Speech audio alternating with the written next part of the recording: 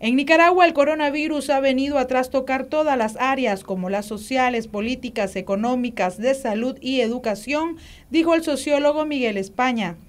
Desde un punto de vista macroestructural vemos cómo la economía no ha sido profundamente afectada y esto tiene graves consecuencias en la economía de a pie, en la economía diaria y las nicaragüenses que tienen que vivir en la incertidumbre día a día de qué van a comer cómo conseguir el dinero día a día para el tema de la subsistencia diaria. Y esto se agrava producto del tema de que las remesas se van a desplomar, producto de que en otros países pues las personas ahí están en cuarentena obligatoria o, o, en, o autocuarentena. En,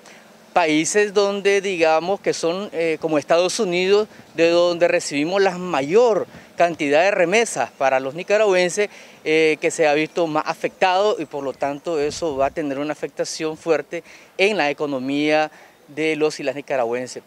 Por otro lado está el tema, de, tema psicosocial, el tema de que cómo la pandemia está afectando desde el punto de vista del temor. Ahora las personas no pueden estornudar o tener un pequeño dolor porque ya lo primero que dicen es que tienen coronavirus, que se van a morir y que ya empiezan a hacer su testamento. Es una cosa eh, bien tremenda porque no se está dando un abordaje integral ni un abordaje de política económica reales, paliativas, para que los y las nicaragüenses eh, puedan pasar este trago amargo de, este, de, esta pandemia, pero tampoco se está dando un abordaje psicosocial al tema de la pandemia, donde los y las nicaragüenses podamos tener, digamos, eh, espacios, momentos, eh, aún a través de la televisión, donde podamos, digamos,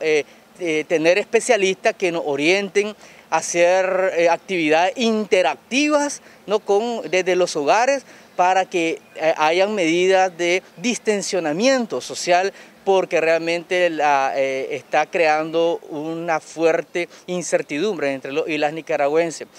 Miguel España describe de qué manera los procesos educativos y pedagógicos se han visto afectados. Y obviamente las medidas primarias que se dieron de la educación virtual no pudieron solucionar el tema de la educación desde el hogar, porque nuestras familias no están educadas para un modelo de integración en los procesos formativos educativos de los estudiantes donde se traslade el colegio al hogar, porque no hay esa cultura de seguimiento desde los hogares, seguimiento eh, con capacidades y con eh, mediaciones correctas desde el hogar. Entonces, afecta no solo que los estudiantes están dejando de ir a la universidad y a los colegios, sino que también afecta el tema del proceso de formación, del proceso educativo, porque realmente no se ha podido paliar ese asunto a través de la educación virtual ni a través de las guías de estudio por WhatsApp, y nuestros hogares también no están preparados para asumir esos procesos educativos pedagógicos en nuestra sociedad. Para Noticias 12, Castalia Zapata.